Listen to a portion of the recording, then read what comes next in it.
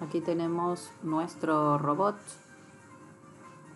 Si hacemos clic en Rapid, ahí aparece el robot. Es el IRB 6640, 185 kilogramos y 2,80 metros. Controlador. Rapid. Bueno, había una parte que nos indicaba cómo moverlo.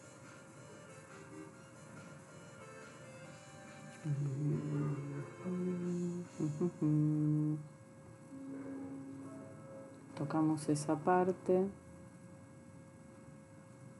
Selección de pieza hicimos. Y ahora en el controlador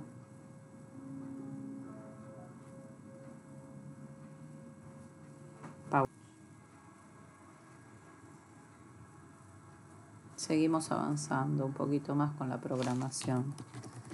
Movimiento rectilíneo. Le damos el nombre.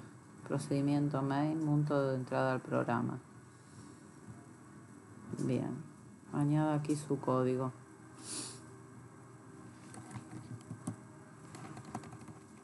Entonces vamos a poner algo que permita mover al robotito move J. Y ahí. P. 10, coma, espacio. B. 1000, coma, fine, coma, tool 10, punto y coma, abajo, mayúscula move J.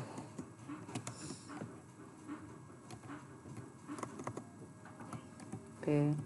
20 coma B. mil coma fine coma tool 10 punto y coma. Move J P 30 acá iba con minúscula. 30 resumido en 21 coma, páginas. B. Animales. 1000 coma. Fine coma. Tool 10 punto y coma. Vamos a tratar de que queden parejas las sentencias. Donado por letras perdidas. Un poquito más. Move. J. P. 40. Coma. B. 1000. Coma. Fine. Coma. Tool. 10. Punto y coma. Vamos a emparejar todas las sentencias para que quede prolijito. Y otra vez move J minúscula P50 coma B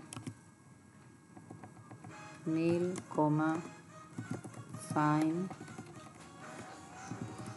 coma tool 10 punto y coma.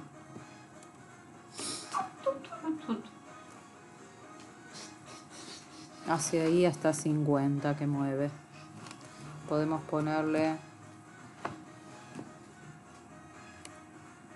wait time que espere un momento. Wait time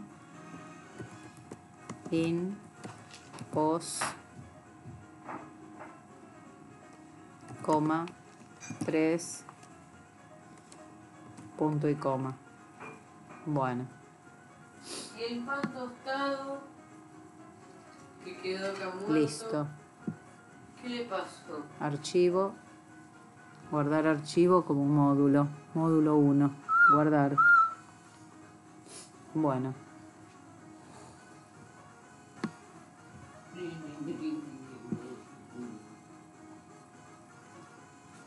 Vamos a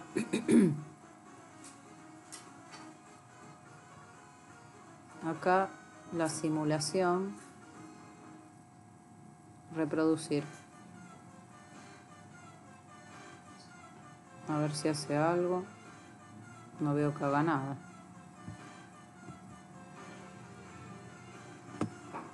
Acá quedó algo de los complementos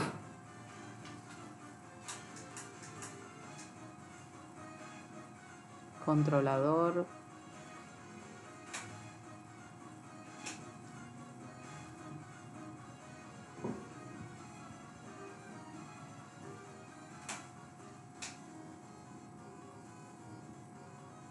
Aplicar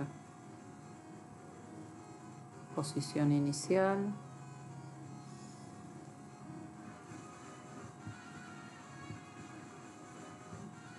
ahí teníamos señalada la posición. Sigue el lapicito atento y quiero sacarlo extruir, modificar curva. Saquemos eso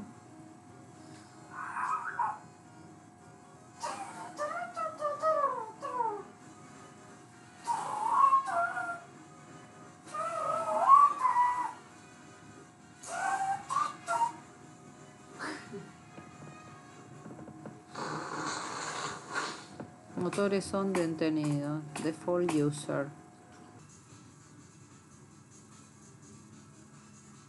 Bueno, estamos entonces haciendo el módulo con Robot Target y estamos indicándole la posición inicial del robot.